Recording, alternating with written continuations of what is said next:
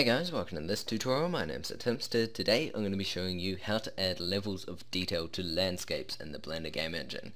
So right here I have a sort of small landscape with some grass on it and a really weirdly extruded building uh, over here. And basically what I wanted to do is a while ago I did do a levels of detail tutorial where you know in the settings here you'd add levels of detail and then the closer you got to the object it would sort of subdivide smoother and look a little bit better the closer you got to it. But it sort of becomes a bit of a problem especially when you're trying to tackle things like landscapes. So I came up with a very nice solution. If I now press 0 and press P you see I have grass surrounding me and then behind the grass it looks like there is currently nothing. And then if I move forward you'll notice the grass as I move forward generates and then once it comes to a certain point where I've stopped planting it then it stops appearing. This building over here you can see it sort of looks uh, you know flat and then if we move closer you can see uh, it changes and it now has extrusions and stuff in it. Now that really isn't necessary, I mean you could always use the levels of detail function under the settings uh, but yeah, again, this is just me sort of experimenting with it and showing what can be done with it. So the most useful thing for this is obviously for the mesh, which your character is running around on, and for the, uh, for example, if you want a grass or vegetation growing the closer you got to it. Okay, so how is this done? Well, basically, we have a high resolution scene here, and then we have a low resolution scene. And the low resolution scene has a camera, which has its clipping set really high, so from 50 to 200. So if I press P, it looks like we've got a big cutout missing. And then in the high resolution scene, we have the opposite. We have, if we go to our camera, uh, we have a clipping ending at 55 so it ends really close to us. That's basically the distance when we start seeing the grass sort of generating in as we get closer. And then also on this camera we have a background scene which is low resolution scene. So without further ado let's get started. So the first thing I'm going to do is click File New, open up a new blend file. We're going to change it to Blender Game, GLSL and a animation frame rate of 60 then I'm going to delete my cube by pressing X and delete, press Shift A, add a plane, and this is going to be nice and big. So something like that, like so. And then I'm going to add my first person shooter setup. So uh, link in the description for that, it's just FPS template. Uh, so download that and then to append that in, we're going to go File and Append. So once you've downloaded that file, we're going to go find it then once you've found it, we'll click on it, then go to Object, select Body, Camera, Feet, and Head, then click Link and Append, and now we'll delete this camera over here because we don't need it anymore, so delete that. Then select this camera here, and press numpad 0 to go into camera view. Then down here, change it to textured, and now if we press P, you should be able to look around and walk around as well. Okay, cool, so we have that working. Now I'm going to change this to a hemi and press Alt R to get rid of the rotation. Then I'm going to select my plane here. I guess you can call it floor if you like. And I'm going to give it a texture. So no specular. Uh, back facing you may as well turn off. And then we're going to give it a new texture, image of movie, a UV, and I'm just going to give it a grass texture. So I'm going to open that up, then I'm going to press Tab, U, and Unwrap, and then over here, I'm going to make a new window, select UV Image Editor, and then I'm going to select Grass, then press Tab, and press S in this window, and I'll make the texture nice and big for us. Then we'll press tab again to go out of edit mode and we can close that window. Then we'll select everything, so B to box select and drag it over the remainder. And then we'll press Control L and they'll make links and we need a new scene. So this one can be called uh, high res high res scene.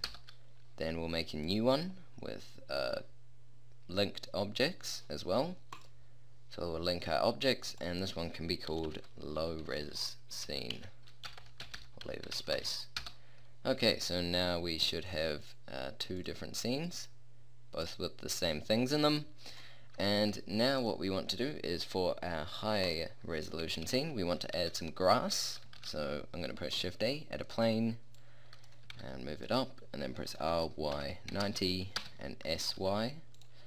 And that's going to be my grass. So in the description of the video is a grass texture, which I made. So uh, feel free to go ahead and download that if you don't have it already. Then I'm going to click New Material, turn off specular, uh, turn off back facing, turn on transparency, no alpha, and then we're going to give it a new texture, image or movie, UV and alpha down here.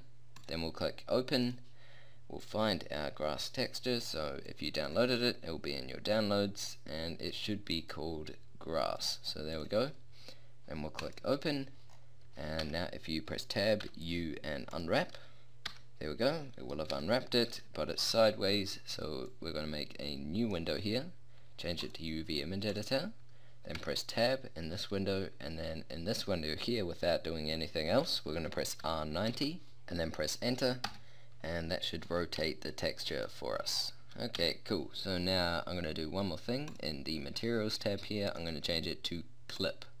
So it looks a little bit neater. Okay, now we're going to close that window again, press T to get rid of this menu here, and then I'm going to press SY and SZ maybe, and move it down, something like that.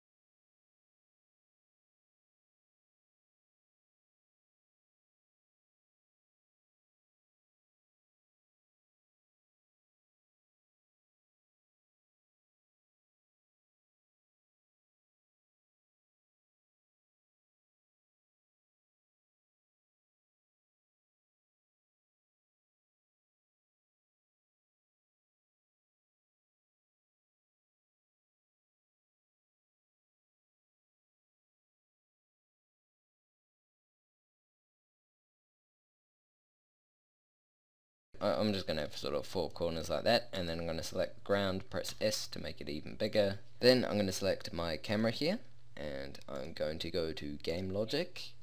Now this will be all untextured so you can change it back to textured and uh, yeah very nice and complex. Anyway we're going to add an always sensor and then we're going to add a scene and we're going to select add background scene and then join the two together and we want to show low resolution scene. So that one right there. And to get this working properly we need some clipping going. So I'm going to go along here to the camera panel.